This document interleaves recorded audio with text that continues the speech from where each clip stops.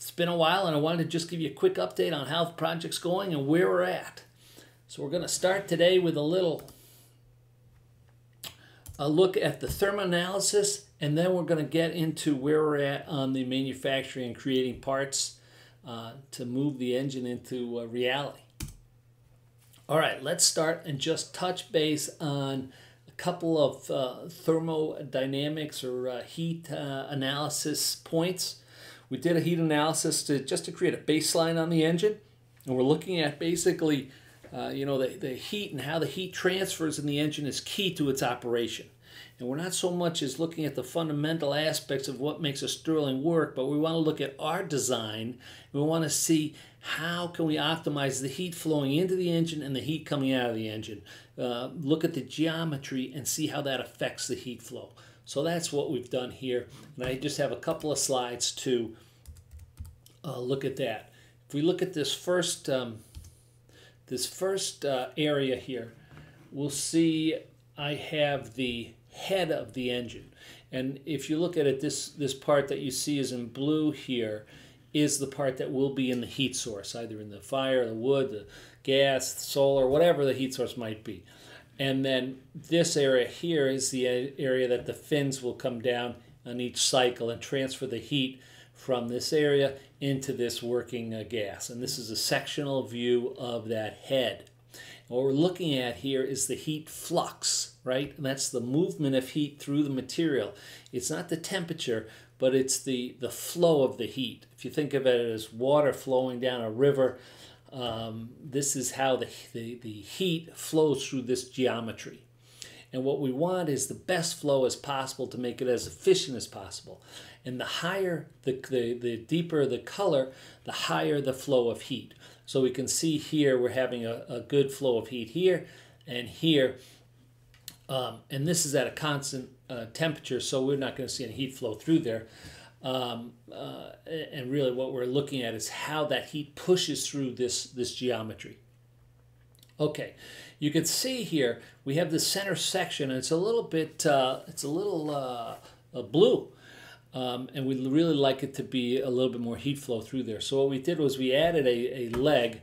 We added a center leg, as you can see up in the upper right hand here, to actually boost that up a little bit. And then we thicken that leg to actually increase the heat flow even more. And you can see that's what's in this lower area here, um, showing the improved heat flow through the center area, which is key for heating up, uh, you know, two of the main heating fins on the displacer and for heating that air in, in this area. So we were able to get some some improved heat flow by changing the geometry slightly.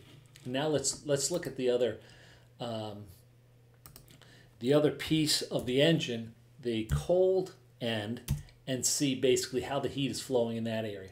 And once again, we have the piston here, and we have the cold uh, cylinder here with the fins out to the air.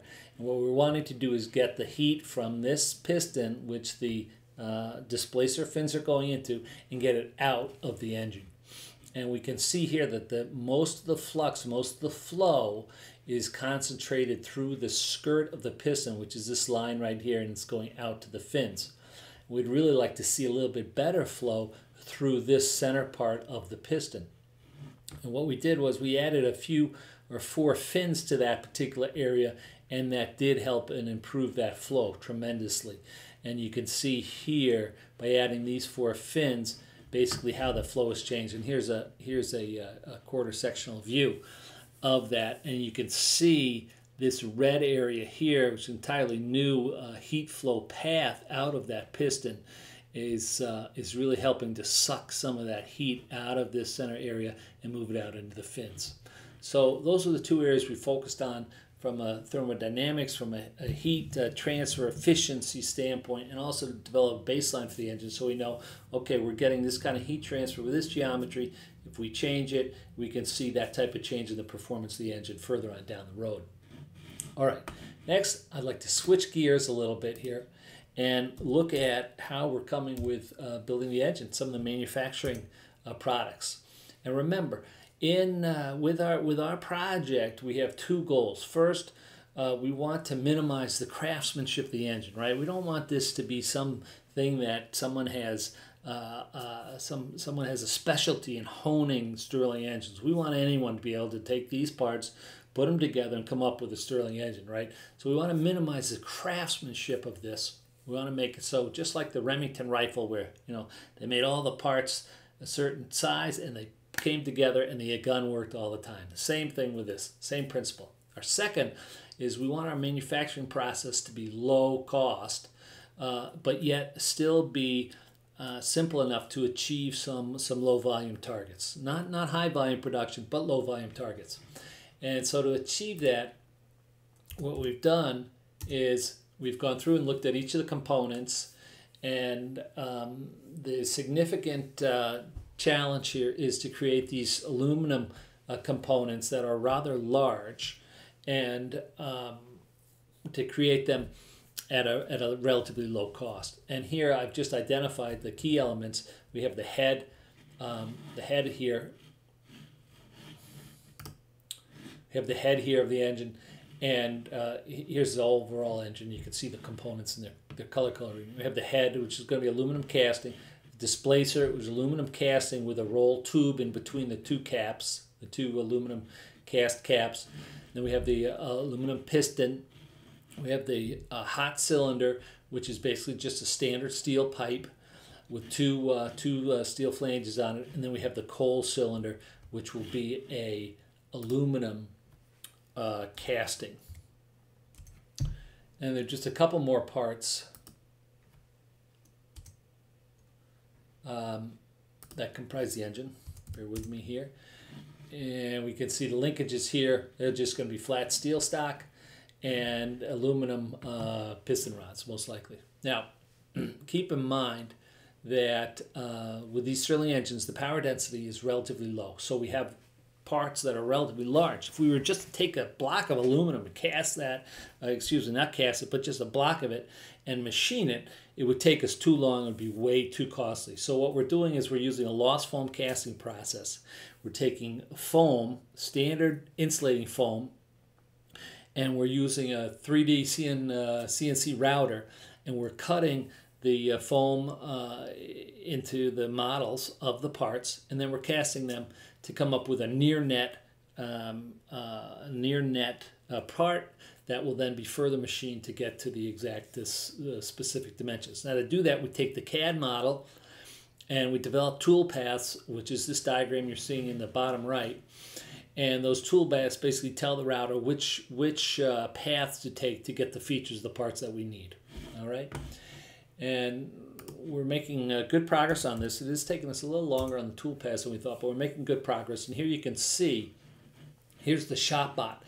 And uh, basically, the ShopBot is this router, high speed router, that's mounted on this gantry. And all these axes are computer controlled. And basically the uh, tool paths are fed into the machine and the machine then goes about and cuts out these these parts. And you can see here you can recognize some of these parts. These are sections two inch sections of the cylinder along this line.